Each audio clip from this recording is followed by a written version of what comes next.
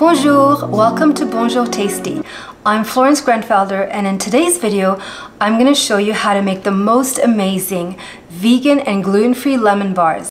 These lemon bars have a rich, buttery shortbread crust and a creamy, tangy lemon curd filling.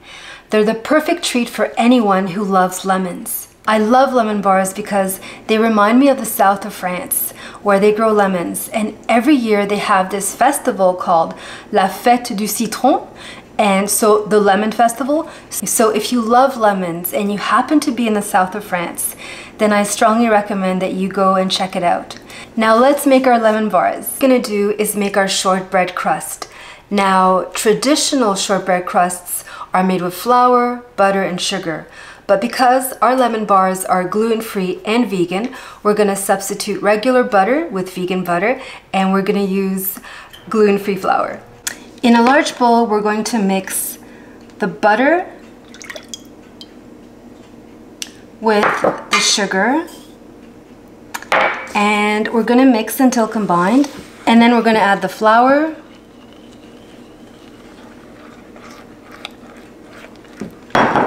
And you really want to give this a good whisk and make sure that all of the ingredients are well combined.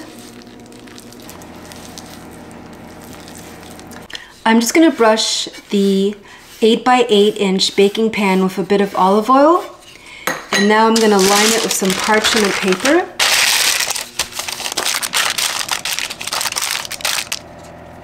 Now we're to add our shortbread crust. You want to press the dough evenly and firmly into the pan and this is what it looks like. And now we're going to put it in the oven for about 16 to 18 minutes. While the crust is baking, we're gonna make the lemon filling. Now, traditional lemon filling is made with butter and eggs, but for this recipe, we're gonna be using coconut milk and arrowroot starch to create that curd-like consistency. And it's important to use full-fat coconut milk from a can instead of a carton because full-fat coconut milk is gonna give you that richer, creamier texture. In a saucepan, we're gonna add the lemon juice, the lemon zest, the salt, the granulated sugar,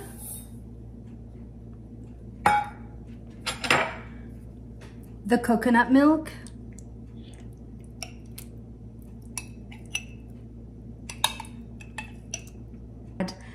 and a pinch of turmeric for color. And then you add the arrowroot, and the arrowroot acts as a thickening agent.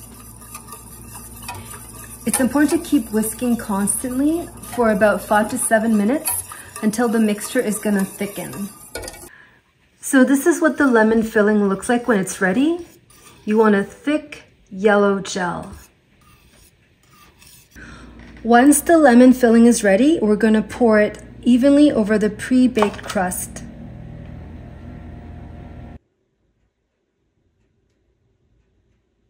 I let the lemon bars set overnight and this is what they look like. Let me show you.